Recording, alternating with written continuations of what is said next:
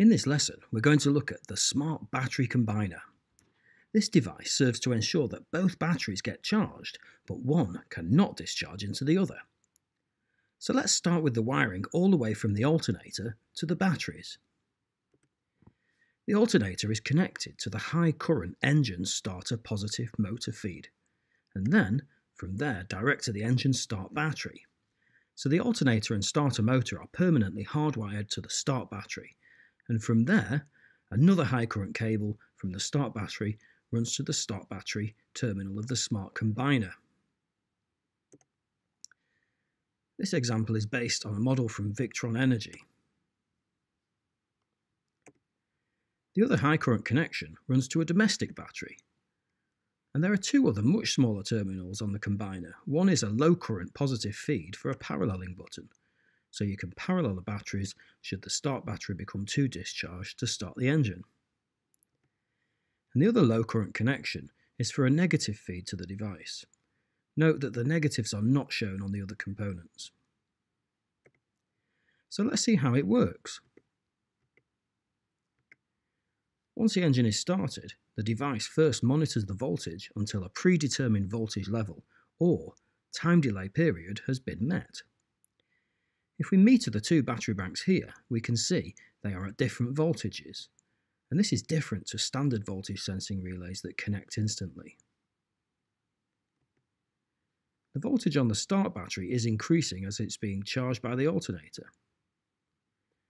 And the smart combiner is programmed to connect the start and domestics together only once the preset voltage has been met. This is for two main reasons. It ensures the start battery has a bit of a top-up charge first, but it also gives the engine chance to warm up a little without having the extra burden of load from the charging of the domestics. If the voltage rises instantly to the threshold, the smart combiner will delay the paralleling of the domestics for a preset time period. We're now at the preset voltage threshold, and this is often 13.7 volts. The smart combiner is happy that there has been sufficient time and the connecting voltage has been reached, so the paralleling connection is made. Now the start and domestic batteries are charging as one, so the smart combiner is now acting like a battery selector switch set to both. Both batteries are charging nicely and the voltage is rising.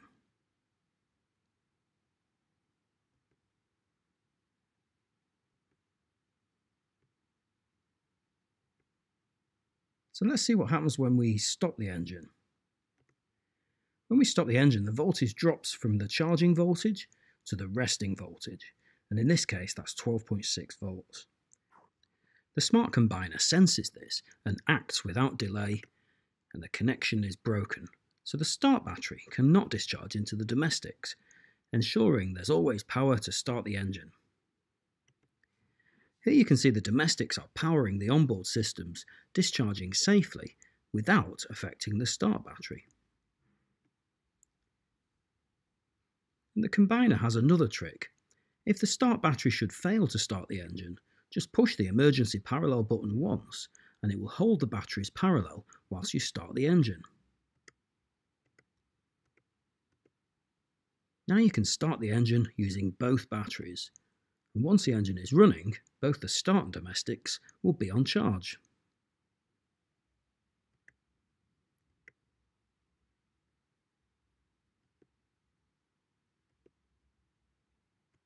So in this lesson, we have covered smart battery combiners.